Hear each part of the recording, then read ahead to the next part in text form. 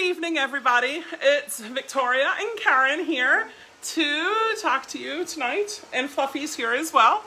Uh, Fluffy was just at Universal with us yesterday, and he did very well. So he, Karen stayed the night, and her and Rich have been working on building a platform, which I put a picture of Oh, okay. up online Yeah.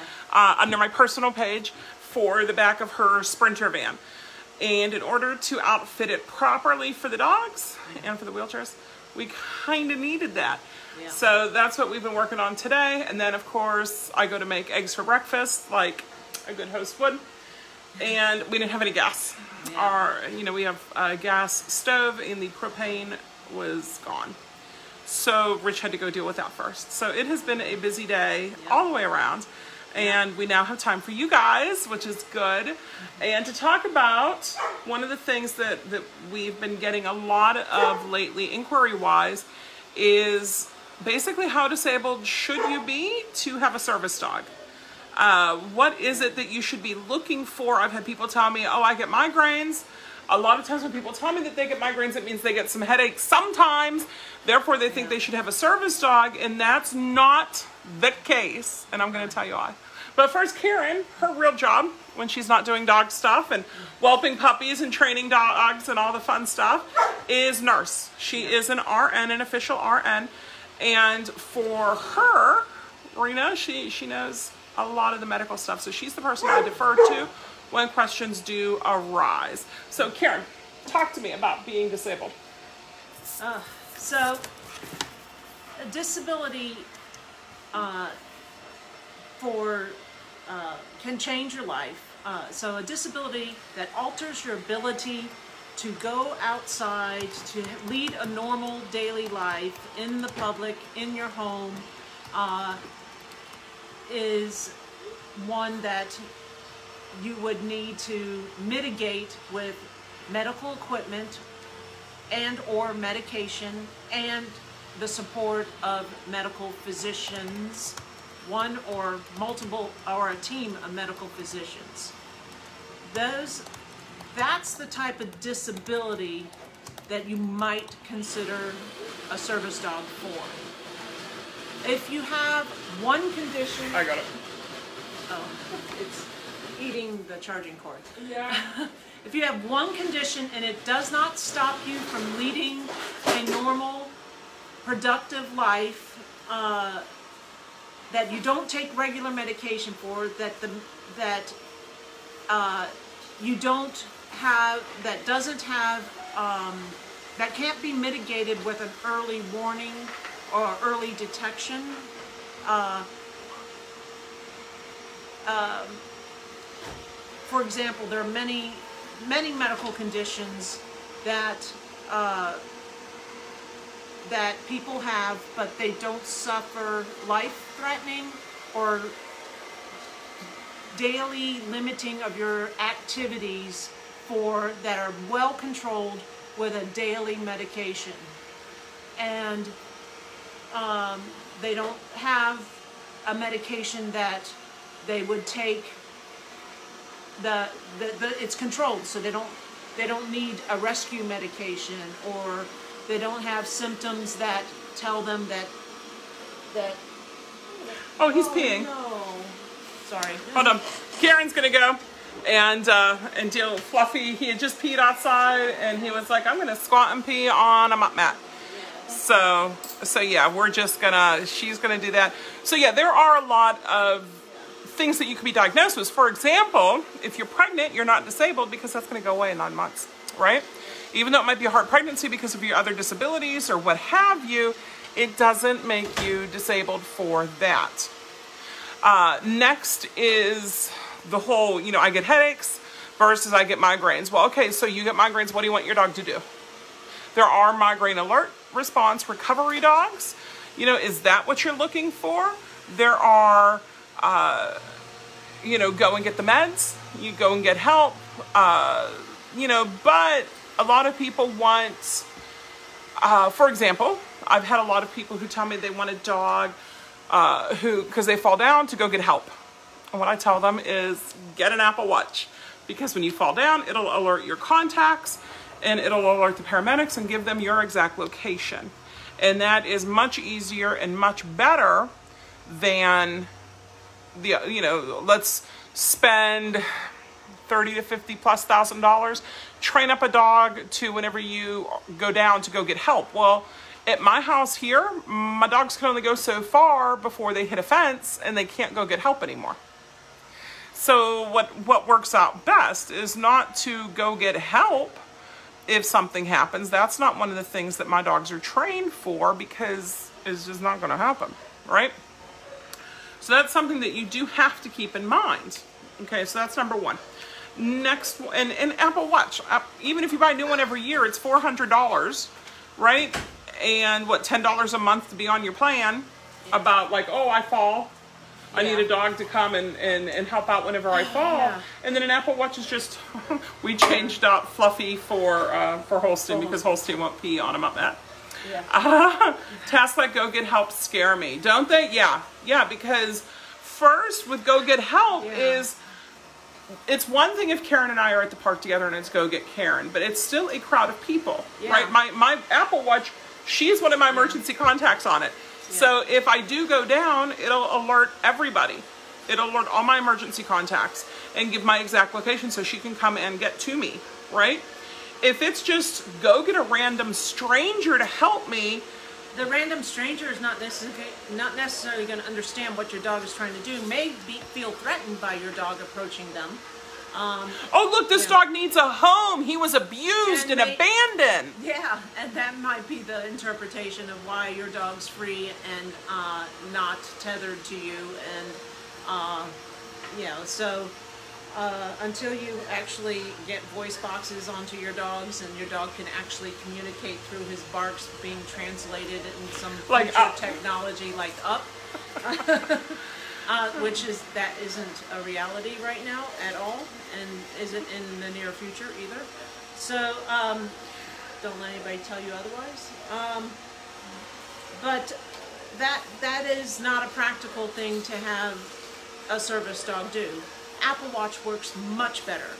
Uh, Well, what Yeah, what if so- what if the person Samsung didn't walk off and steal your dog? Okay, so that's always Right. a possibility with the go get a rando for help, right? They can take your dog and walk off with your dog, right? Yeah. And you're you're, you're out of commission. You can't help. What if it was worse? Well, what's worse than stealing my service dog? What if it was a like a pedo, right? A pervert. Yeah. And he came over. Oh my gosh, it's my sister, wife, girlfriend. Oh, I'm going to take her out to the car, and now you're kidnapped, and now you're in, sold into the sex slave business. Like, uh, yeah, yeah, that is actually a reality. Yeah. Um, uh, not to try to scare everybody, but that does happen. Um, and your dog is better trained to stay with you, uh, along with having the medical equipment of an Apple or Samsung watch. The watch is going to signify. It's going to notify. It's going to notify your next of kin or next your emergency person that you fell, and uh, know you're you didn't respond. And the dog. It's better to train that dog to stay with you and try to uh, keep you calm or wake you uh, through tasks that have been trained than to send that dog to get help uh, out in public, especially. Now, about getting help in the house, we've we've had stories where that's been very effective for a service dog within the home, meaning go get Go uh, get Karen, go get yeah, Rich, go yeah. get Luke. and that's been very effective. That's been a very, very good task for a dog to do um, in home. Uh, so, uh, just like go get your medicine, uh, especially if you have your medicine in the same container in the same place, and you happen to be in another room, and the dog has access to where your medicine is. If you're like closing your doors and whatnot, then the dog can't get into the, not unless you've taught your dog to open doors and that kind of thing. So that will also require you to have the t- proper equipment on your door so your dog can open the doors. Yeah. But um, it's not impossible. It can be done. It, Um, well, you know where it comes in handy is having a doggy door built in, right? Yeah, But okay, yeah. you have a doggy door built in, uh, but now snakes can come into your house, Yeah, right? Um, or you have a doggy door come in, and again, if you guys have been to my house, you know that we have the dog yard and then we have the rest of it. So what if Rich is out with the cows past the dog yard and my dog can't get out there? Now, it was one thing whenever we had Arrow who could jump this Oh, fence. he would jump. He would go. Right? Yeah. But that's not Yeah. the case with any of the dogs I currently have, and I kind of don't want them to jump the fence. Yeah. So, you know, you're, you, well, okay, well, then I'm going to train a bark. Let's Yes. talk about that. Oh my. Don't train a bark alert. Why? Because what is a barking dog? A barking dog is an aggressive dog. No, he's alerting. Find another way to teach your dog to alert. Yes. Well, I don't pay attention to them. Well, then stop it. So your service dog is not allowed to disturb the public. So what does a bark do? I think it disturbs the public. It disturbs the public. Every person in the public, whether they have a dog or not, gets disturbed by a barking dog. Whether they interpret it as the dog needs something or you know, but it, it does disturb your your service dog is supposed, to be seen and not heard, or not even seen. The best compliment you have is when you get up from uh, a public transit or a restaurant and everybody's shocked that you even have a dog. That's how well behaved your dog was. That's how well tucked under and and the and your dog is alerting to your medical condition silently to you, not disturbing others while your dog alerts to your medical condition. So it doesn't make sense to have a dog that jumps on you to alert to your medical condition out in public. Uh, you know, what if you're in public transit and your dog needs to stand up and jump on you? Or, you know, what if you're on a plane and your dog needs to stand up and jump on you to?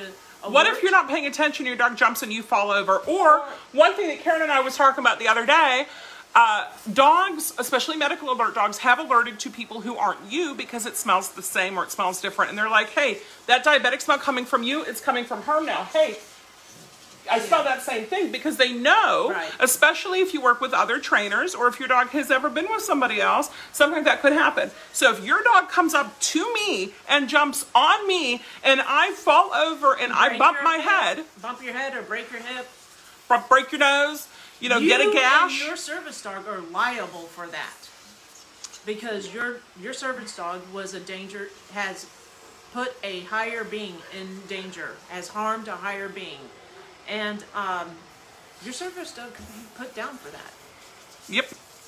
because whether it was intentional or not, your service dog harmed somebody else, and and that is uh, per the legal framework a reason why a court system could say your dog does not deserve to live any longer.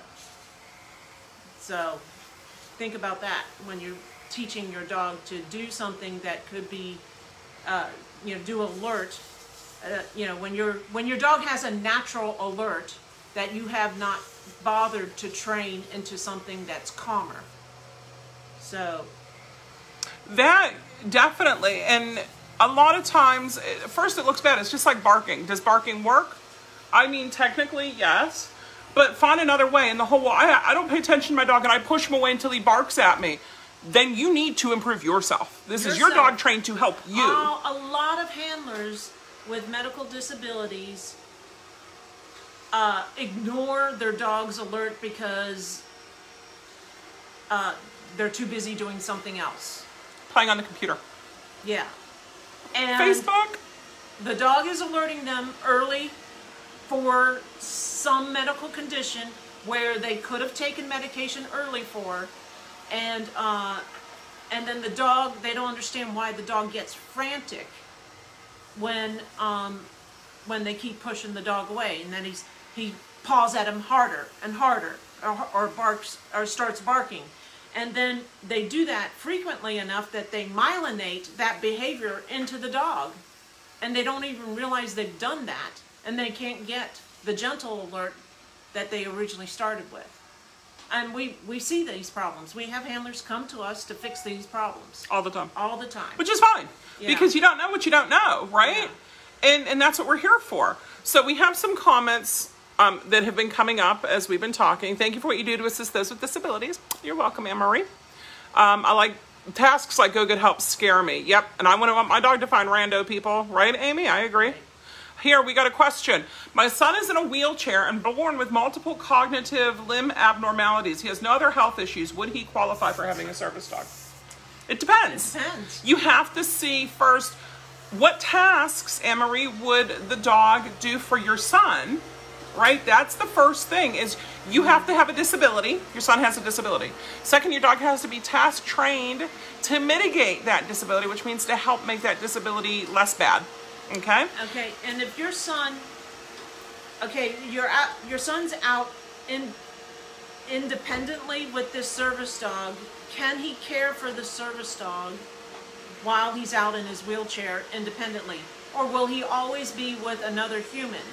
So if the dog gives your son some more independence while he's out with another human, say your son drops something, instead of the other human picking it up, the dog can pick it up say the your son, the dog can open, uh, push buttons for for um, door openers for him, so he can go in and out of doorways more independently.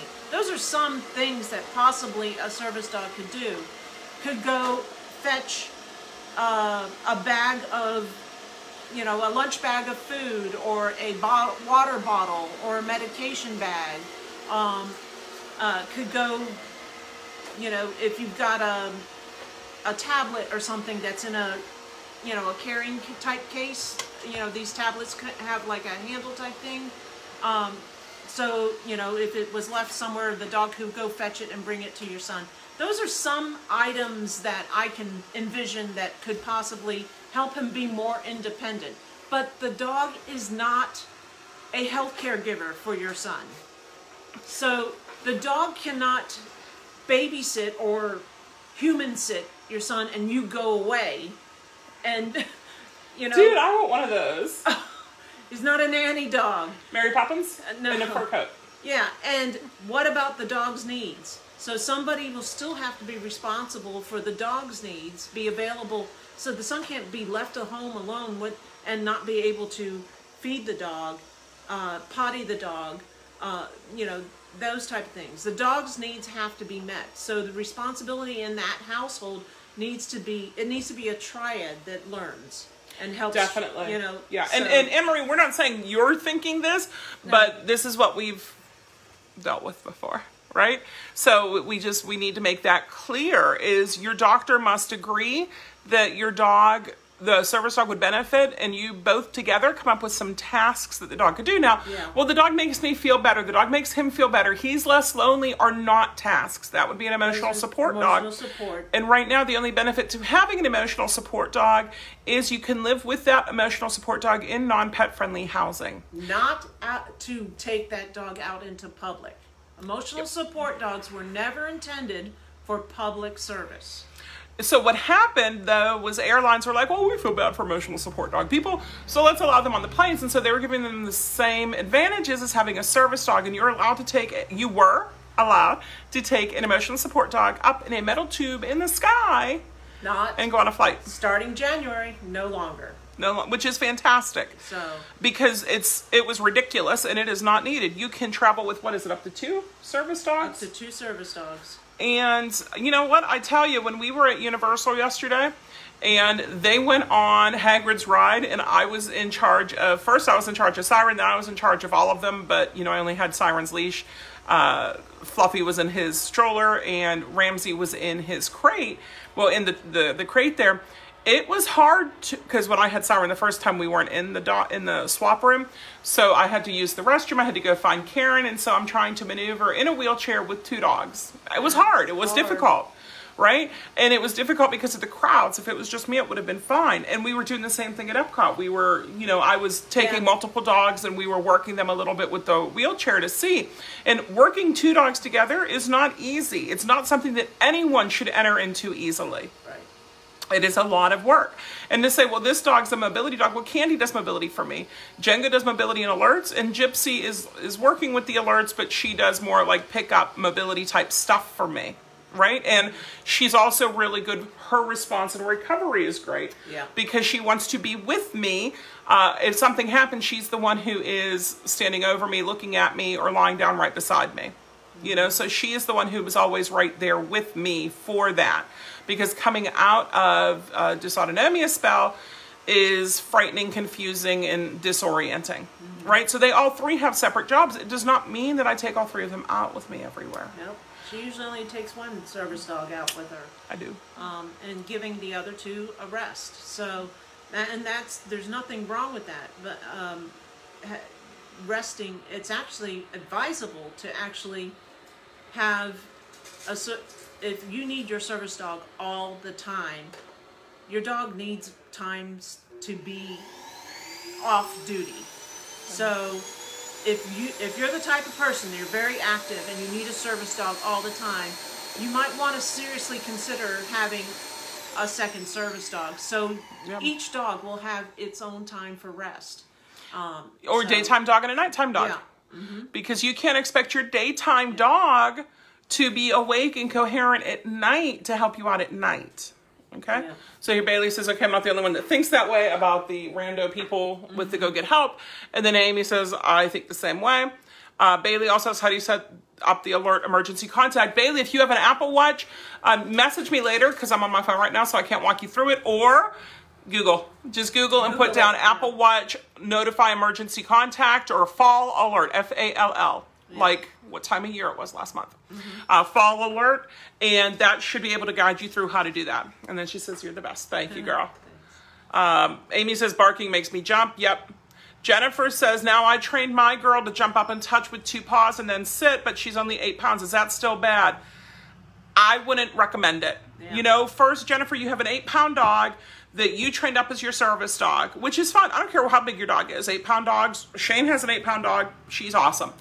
But having an eight pound dog, if you have an eight pound dog who's constantly jumping up on you and sitting and jumping up on you and sitting and jump, she's just an obnoxious ankle biter is the uh, view that you're going to get from the Yeah. public honestly like and i'm just going to be blunt because apparently that's how i roll uh, so you need to train her above and uh, beyond. And it could be that she taps your knee with with, With- um, her not your knee i guess it would be your shin with her foot, Foot, right? yeah. i like a nose touch is my favorite alert Yeah. because i don't have to worry about how short the dog's nails is. So jennifer your little eight pound dog comes up to alert me because I, I have the same disability you have and the same things are going on. And she comes up and she does that and you're okay with it but I'm not used to a dog. And I flinch and I I move because I have a little fuzzball who's like trying to bite me because she's jumping up on me you know or I kick her away just out of reflex now I've hurt your service dog and you can't sue me. No. You can't sue her for hurting your service dog when your service dog approached her and jumped on her.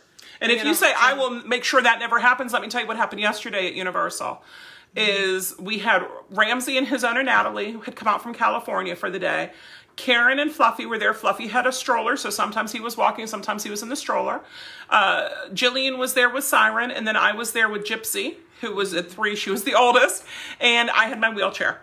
So we were going, they were letting me clear the way for them in the wheelchair, and they were following up behind. They noticed three or four people as they're walking down reach out and pet the dog. Pet Gypsy. Pet yeah. Gypsy because it was so crowded. Did they reach capacity yesterday? They reached capacity before eleven o'clock yesterday. so they reached sooner capacity. Than Saturday, sooner than yeah. The it was So it was crowded, Yeah. right? So if you're like, my dog would never do that in a situation like that, it's going to happen because the people are right there, right? And if Gypsy would look with her mouth open and panting and a tooth would touch somebody, you now have a dog who bit somebody because people are stupid. So what we ended up doing, this is super fun, is, is they're they're telling the person afterwards, don't touch it. She's a service dog, right? Yeah, so they told late. me They're about already, it, like, right? past. And and so as I'm doing it, this gypsy's on my left, my right is my steering hand because it's an electric chair, right? Is I saw somebody walk by, just put the hand down to pet as she walks by, and I just karate chopped her. and it reminds me there was a Simpsons episode. I don't watch it, so it's been a long time. And Homer said, "Well, I'm not going to eat the donut. I'm just going to do this."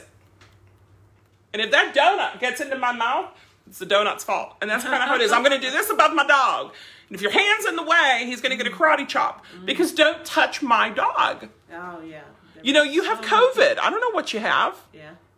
Hi, peoples. People will steal your service dog and straight up walk away with them. They go get help from random people. It's terrifying because the high risk like that. Yeah, that or like as pedo people. Yeah. Like perverts and like service dog is one of the most expensive pieces of medical equipment you probably ever have in your lifetime. yeah. If you calculate how much it costs to obtain the service dog, train that service dog, maintain that service dog uh, over the eight or eight years that you're going to have that service dog, you will realize you need to pre- be uh, respecting and Be prepared. yeah, be uh, more conscientious about the value of your service dog and not put your service dog in a position where he could be abducted and he or she abduct, abducted and you'll never see him again. Yeah. So microchips don't save your dog from being uh, abducted. So Jennifer says, well, she just does one. So she jumps up and puts one paw on you. Well, then just have her sit in front of you and just tap you with her leg. There you go. And Yeah. if she has the command and she knows the other, it is very easy to classically condition Yeah. that she doesn't have to jump up and put one paw, that she just sits there and puts one paw on you or puts a paw on your foot or, you know, licks your ankle bone. I don't care. Just, I don't like things. And then when people make excuses, well, it's okay because my dog can do this. I don't like a jumping dog. And we saw it. We, Yeah. we saw it a couple times recently. And apparently there's patches. No, jumping is my alert. No, jumping is not your alert. Yeah. Jumping is because your dog jumps on you and you assume that that's an alert. It's not. Okay? An alert has to be task trained. If your dog just magically picks up on it, you still have to train that response. Yeah. And if your dog magically just comes up to you and So- sits and blocks, you still can shape that. If something is, if your do- dog, if you think your dog did something naturally, can you back it up with a pulse ox reading of a heart rate level or a saturation level of your oxygenation level or um, the fact that you did develop a migraine two hours later or um, a glucometer reading? Can you back it up with some objective measuring tool? You know, uh, was it an inter- interruption of a self-mutilating behavior or interruption of a um, of a uh, uh, escalating anxiety um, uh, reaction uh, that you know before you actually had a panic attack or breathe, which can be exhibited in many very serious physical um, uh, ways, like disruption of your breathing, uh, you know, self mutilating or scratching or tapping or, um, you know, so did some one of those things. You need to be writing a diary of that. And if so that happened then you know your dog was interrupting that. Therefore whatever natural thing your dog did you can classically condition that into a touch or a boop or a you know Boop snoot. you know and and then it it becomes a task. But because you don't know what randomly the dog interrupted. Are you going to go take something to low to bring your sugar up and then end up with a high sugar without ever checking your sugar if you're diabetic? Or are you going to take migraine medication when you really didn't develop a migraine? So this process takes some time where you're actually going to suffer the problem before you actually the dog starts mitigating the problem. Do you understand what i'm yeah, at? yeah. So, well, and then the yeah. other thing, the other thing you have to look at is, does the dog do that when you are feeling fine? right Because And if my dog is jumping on me as an alert, and I think it's an alert, right? And then the dog's jumping on me, and it's not an alert, and he's jumping on Karen, and it's not an alert, and he's jumping on Rich, and it's not an alert. That is not an alert. That is just an obnoxious dog. Yeah, jumping on you when he's hungry, jumping on, you know, just jumping randomly. You check your sugar, your sugar's fine, Your dog was jumping on you. You check your, you know, I mean, just when your dog was supposed to be alerting for low sugars and now the dog is jumping just randomly, then you know that's not alert. alert. Exactly. So that's what I'm trying to get at. It is better to task train that dog from the beginning than to take something natural that you don't know what it was for. And Yeah. so a lot of people think, oh, he naturally does it, so he's a better dog. Is he really naturally doing it? Or did did it just randomly he happened to do that and then you just coincidentally had that other issue come up later uh, uh, or come about.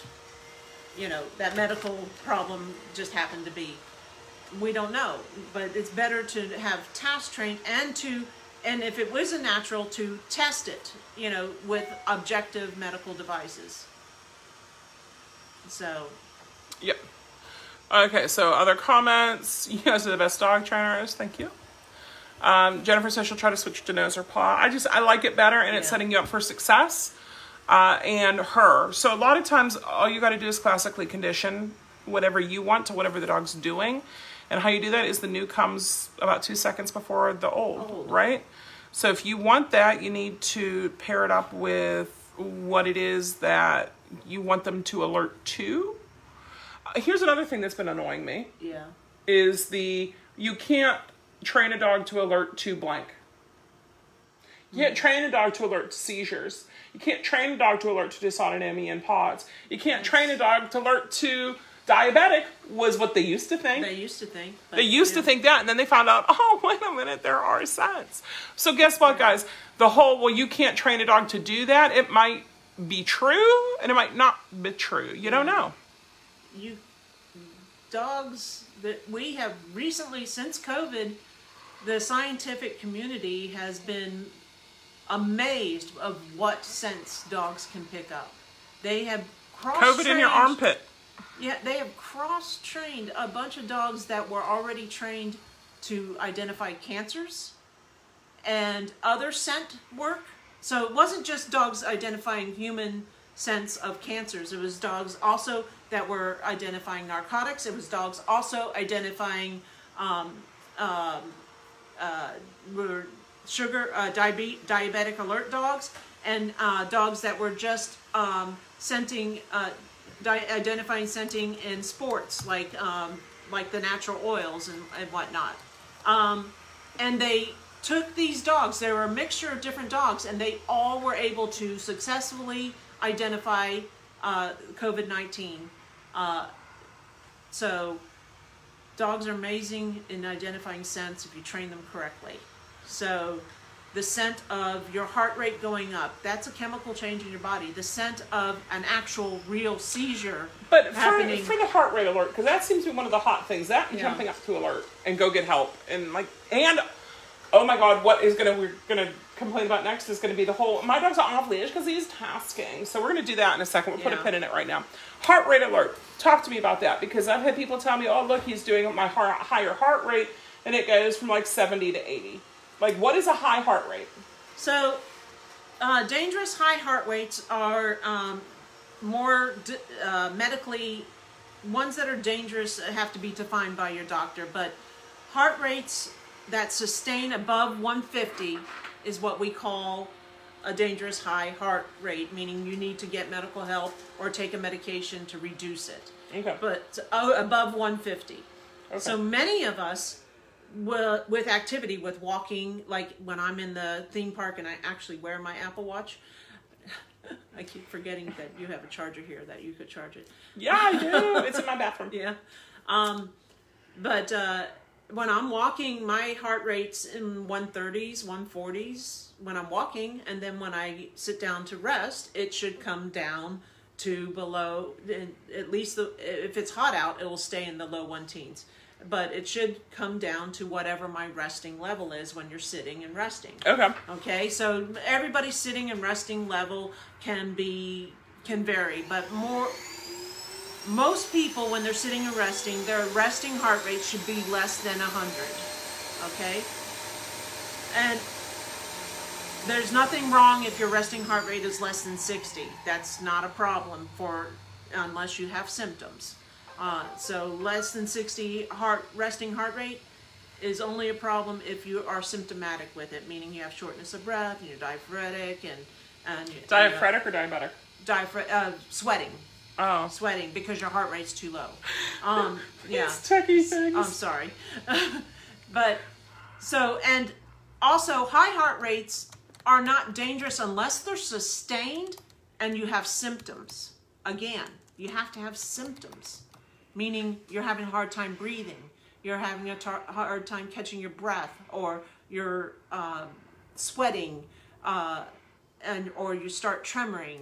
Uh, so, and you should have a rescue medication for that or a plan to uh, address that from your doctor.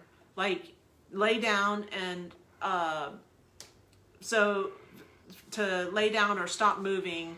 To your doctor nine times out of ten, these doctors want to know is your blood pressure dropping or going up when your heart rate goes up?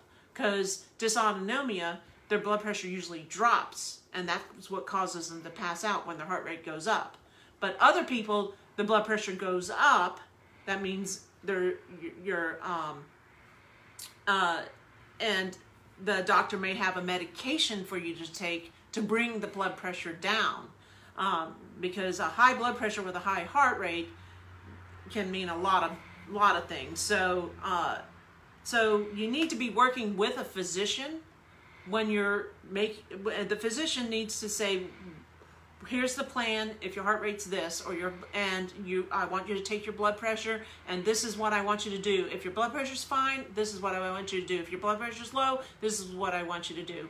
And you you can have different alerts for a dog or you can just have your dog do a generic alert something's wrong which tells you to take your blood pressure or check your pulse ox or whatever. So if your Apple Watch is telling your heart rate is up, is it sustained? Because your Apple Watch will say how long it's up, you know, and usually um, your your so this needs to be worked with. This is not something that we work with independently without you and your doctor working with it. My doctor doesn't believe me, so it's okay because I really have. Then it's not a medical disability. If your heart rate's in the one teens and one twenties sporadically, everybody has that. It's not you know and then that's the problem with having an apple watch nowadays is everybody's oh my gosh i have tachycardia you know and and but, but everybody's heart rate varies tremendously so the nice so, thing too with wearing the apple watch is it checks it periodically throughout yeah. And so I was able to, I'm able to go and look back, and then I'm able to give that information to my doctor. to your doctor. And yeah. then he looks at it, and then he can change up my meds or figure right. out like I'm feeling really wonky. Oh, I need to check that yesterday whenever I wasn't feeling great. Yeah. And see if it shows anything. I did find I do have a pulse ox in my bag.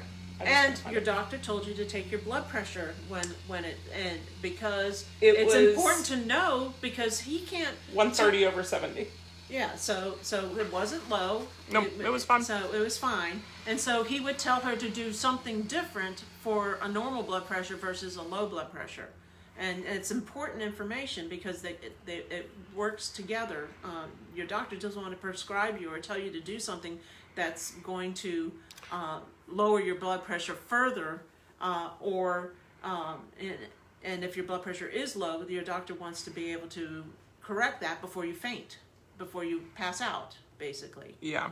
Um, so you if you are training your dog to do multiple kinds of alerts what I don't, uh, so if you're going to do multiple types of alerts, what I tell people is pick the top three things that you want yeah, your dog to work on, right? Yeah. And then you're not going to have press, my, touch my left knee for gluten, touch yeah. my right knee for diabetic, touch my elbow for, uh, for tachycardia. You know, go down my throat if it's something I shouldn't eat you pick one, pick, right? Yeah. You pick the worst thing that you have to deal with and you work with that. And if your dog magically picks up on something else, then you have to check, okay, is it the diabetes or is it the uh, syncope, right? Which one is it that my dog's alerting to? Mm-hmm. Uh, and and if it's something different, you know, like gluten, you could do gluten and diabetic because yeah. they're separate. They're separate, yeah. But your dog is not a nurse right? right? Your dog is not Mary Poppins. Your dog is not a doctor in a fur suit. Your dog is a dog. So and it's your responsibility to follow up with, you know, what that dog is alerting for. So here we have, uh, for, here's a uh, personal example. If Holstein were to alert for gluten, well, he's retired now, but um, I still haven't trained Ross to alert for that, and I can start actually scent work on um, Fluffy now. But uh, if he were to, I would ask Holstein to alert for the gluten. That's how I trained him. I have him check food. I don't have him smell around my my environment and alert me if gluten's in the environment. That's not how I've trained Holstein. And that's because gluten's only dangerous to me if I put it in my mouth and swallow it. So therefore I have him check it before I put it in my mouth and swallow it. So it's okay for gluten to be in my environment. Barry appreciates that. Yeah. so uh, I have him check the check the food, uh, and he has a alert which I had to change from a paw to a touch with his nose, which um, which was much gentler. Uh, so I don't have him checking everybody. He, it's not acceptable for Holstein to go up to Vicky and say, uh, "Your food has gluten," or to go up to Barry and say, "Your food has gluten." So, um, so that is just one example of your dog. It's not okay for your dog to generalize um, your condition on everybody else. So Everybody. yeah, Hol- Holstein does not stop or or so it's all all on command. So and the here's the other kicker. I've seen people change their lives and become more limited in what they're doing because they have a service dog. Talk to me about that. A service dog is supposed to free you and enable you to move about the world more easily, not keep you more um, afraid of the world, not keep you in inhibited from going out, inhibited from um, being independent. It's not supposed to make you more dependent. So, uh, and that's why we keep emphasizing work with your doctor. Yeah. you should be your service dog should not make you m- more afraid of other people more afraid of the general public more afraid of um of going places. Then your service dog is not mitigating your disability. That means your disability needs to be dealt with in the medical world you need to work with your doctor better to to find um, more mitigation through medicine or through other therapies until you get to a point where actually a service dog can help you be more independent and less dependent. You shouldn't be dependent on the service dog to uh, watch your back all the time, to how can I put this nicely? Just be blunt. Your service dog is not there to be a protection dog. And people's interpretation of a protection dog is my service. I want my service dog to go check my house for intruders. I want my service dog to uh, attack somebody if they walk up from me behind or bark. Uh, they don't actually want them to bark. They want them to be um, oppressive, not oppressive, uh, be intimidating to others. Yep. So, um, and so therefore we get people who ask for us to train um, German Shepherds, Malinois, dogs that are um, more intimidating looking It's because they want the general public to be more intimidated by their dogs. And um, it has the opposite effect. And uh, they don't realize that a golden actually produces oxytocin in people when they see it and it actually makes people less intimidating around you although the people are trying to pet your dog all the time but Usually they don't. Yeah. That was Yeah. ridiculous yesterday, man. But, that uh, never happens. Apparently she looked extra floof.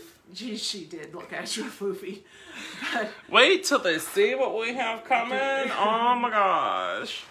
but um so uh so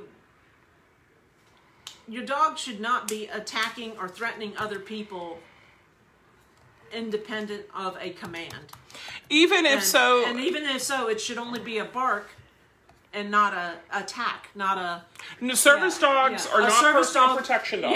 yeah, so they're trying to totally separate. Yeah, so if so- you have a service dog Yeah. and you want weirdos to not come up to you and you want that, you cannot train a bark growl command to that service dog. That would be a separate dog.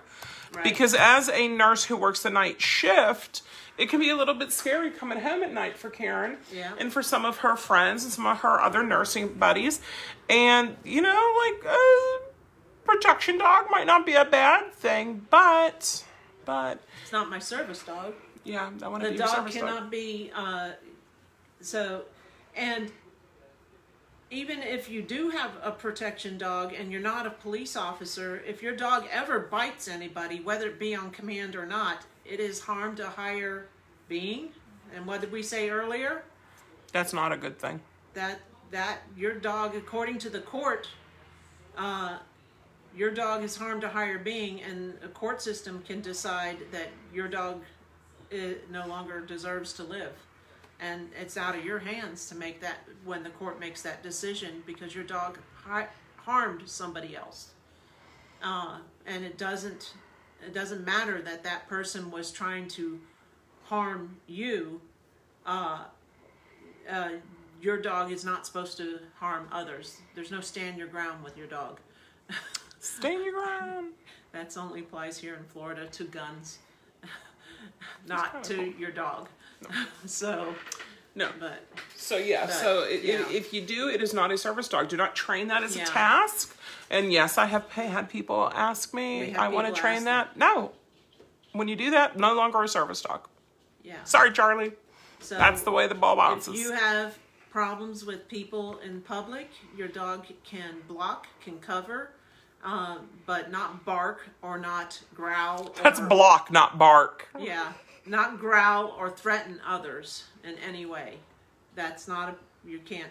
We- We're not going to do that. We're not going to train that, and we're not going. And it's not prop. It's not appropriate for a service dog to be trained to do that. And we're not going to train your dog to search your house. What is your dog going to do once it searches the house? That's again training a dog to bark or to attack, and that's not what a service dog is uh, trained to do. So, um, and that's not a medical, uh, that's not uh, mitigating a medical disability either. No. So that you've you've reached a different realm with that dog um, when you when you're t- training that. There's no medical disability in, in teaching your dog to search the house and, and attack somebody. Because you know why? And here's my thing: is you could just leave the dog at home, and if someone breaks into your house, your dog would bark, bite, carry on, and be a deterrent. Yeah. Instead, you're taking your dog out with you, and then coming home and saying, "Check my house for bad guys." Yeah. And it feeds into the whole "the world is out to get me," and the world is not out to get you. the world's not out to get you, and if that's uh, so, it's having a service dog requires you to work with your medical team, uh, hand in hand. Yep. Yep. Any other questions? Yes, we have a physician patient relationship uh, and your service dog. I'm a military spouse trying to own or train my dog. Uh, I have anxiety and panic attacks with physical symptoms. Right now, I live in a remote area and it's impossible to get a PCP, so it's hard to have a physician to help me and be on board. So, I'm not in the military. I've never been in the military. Neither has Yeah. Rich. But there has to be a doctor on base, right? So yeah, there's they if you have trouble getting a primary care provider, that's a PCP. Um, uh, the military has programs where you're allowed to uh, obtain one that is not part of the military base, and you need to tap into um, that uh, uh, exception uh, program or whatever. There's uh, paperwork or you can get an exception through TRICARE or whatever um, the system is to see get obtain a primary care provider outside of the military base or system. So um, look into that and and get yourself a primary care provider. Uh, uh, there's a lot of telehealth programs nowadays. Yeah. So you can uh, you see that person one time and then you're allowed to to communicate via telehealth afterwards. So even in a rural community. And uh, you know, not that every doctor's the greatest. I have had doctors who tell me that I'm faking. But that's where I have had multiple doctors because I got diagnosed at 19, which means I had at least 10 years of not knowing why I was passing out. I'm in my 40s now, so I've had over 20 years. I've had doctors even after I got the diagnosis who have told me I'm faking. And that I'm doing it and seeking attention because I need attention.